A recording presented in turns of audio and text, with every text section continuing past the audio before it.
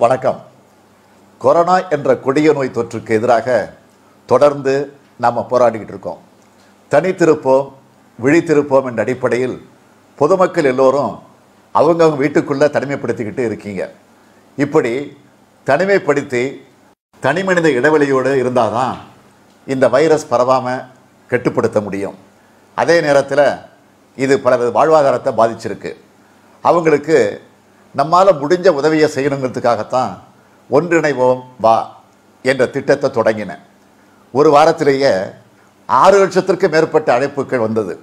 உதவி கேட்டவங்களுக்கு உணவுப் பொருள் மருந்து பொருளை வழங்கிட்டு வரோம். இது ஒரு பக்கத்தில் நடக்குது. இதில் இன்னொரு வகைப்பட்ட மனிதர்களை கவனிச்சாகணும். அதுதான் உணவுக்கே வழி இல்லாத வீடுகள் இல்லாத வாழ்விடங்கள் இல்லாத மக்கள் வெளி மாநில தொழிலாளர்கள்.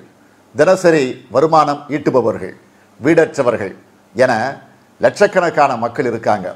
அவங்க அதிகமான துயரத்தில் இருக்காங்க. நான் முன்பு அறிவித்த ஹெல்ப்லைன் எண்ணுக்கு வந்த செய்திகளில் என்னுடைய இதயத்தை நொறுக்கிய செய்தி எதுன்னா இவங்க பேசுனது தான் எங்களுக்கு உணவுப் பொருள் கொடுக்கறதுனால எந்த பயனும் இல்லை. ஏன்னா சமைக்கிறதுக்கு எங்களுக்கு இடமே கிடையாதுன்னு அவங்க சொன்னாங்க. பொருள் கொடுத்தா சமைச்சுக்கோங்கிற மக்கள் ஒரு பக்கம்.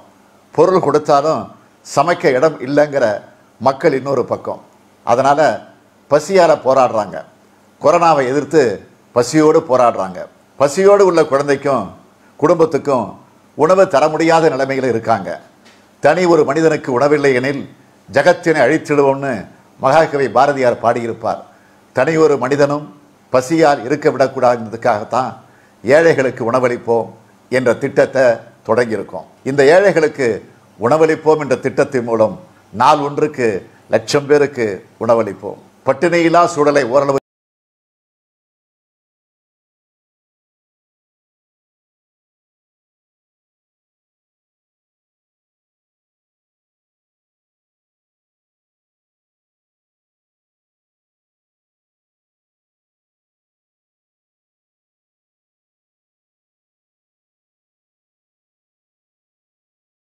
மேலும் பல செய்திகளை துரிதமாக அறிந்து கொள்ள W W W dot Quickline news dot in என்ற இணையதளத்தில் தவறாமல் இணைந்திருங்கள்.